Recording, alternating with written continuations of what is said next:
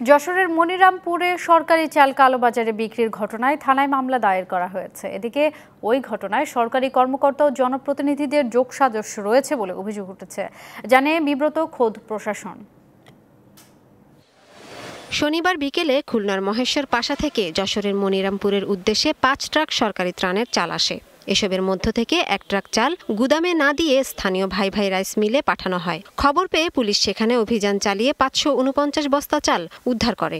মিল মালিক ও truck চালককে আটক করা হয়। মনিরামপুর খাদ্য গুদামের ভারপ্রাপ্ত কর্মকর্তা জানান, প্রকল্পের সভাপতির নেতৃত্বে চারজন এসে ওই এক ট্রাক চাল নিয়ে যান। প্রকল্পের সভাপতি চারজন কুমার সাধু, আব্দুল লতিফ, আব্দুল মান্নান এবং বিকাশ কান্তি। তাদের নামে যেহেতু ডিও হয়েছে আমার কাছে ডিও আসছে ডিও আসার পরে তারা যতক্ষণ নিজেরা না উপস্থিত হন, ততক্ষণে আমি মালটা দিতে পারি না। তারা উপস্থিত হওয়ার পরে তাদের উপস্থিতিতে মালটা দিয়ে দেওয়া হয় এবং তারা মালটা নিয়ে চলে যান এ বিষয়ে বিস্তারিত জানতে উপজেলা প্রকল্প বাস্তবায়ন কর্মকর্তার অফিস ও বাসায় গেলেও তিনি বের হননি। এমনকি কয়েক দফা ফোন করেও পাওয়া যায়নি তাকে। উপজেলা চেয়ারম্যান জানিয়েছেন, সাধারণ ছুটি শুরু হওয়ার পর কাবিখার কোনো চাল বরাদ্দ যায়নি। কালোবাজারে চলে যাওয়া চাল খাদ্য সহায়তার ছিল বলে দাবি তার।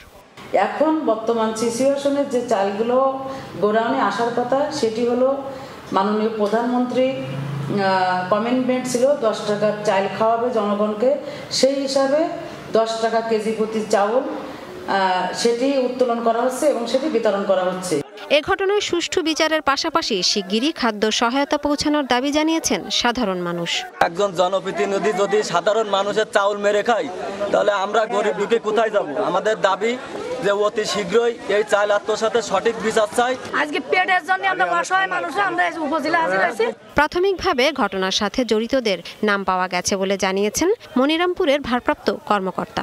ভাই ভাই রাইস মিল থেকে পাঁচশো উনপঞ্চাশ বস্তা চাউল জব্দ করে সরকারি, বস্তার গায়ে লেখা আছে সরকারি চাউল। ঘটনাস্থলে উপস্থিত ওই ভাই ভাই রাইস মিলের মালিক আবদুল্লাহ আল মামুন এবং ট্রাকের ড্রাইভারকে আসামি করে আমরা একটা মামলা রুজু করেছি। মনিরামপুরে দুই দফায় মোট চৌত্রিশ টন সরকার ঘোষিত খাদ্য সহায়তার চাল পৌঁছেছে।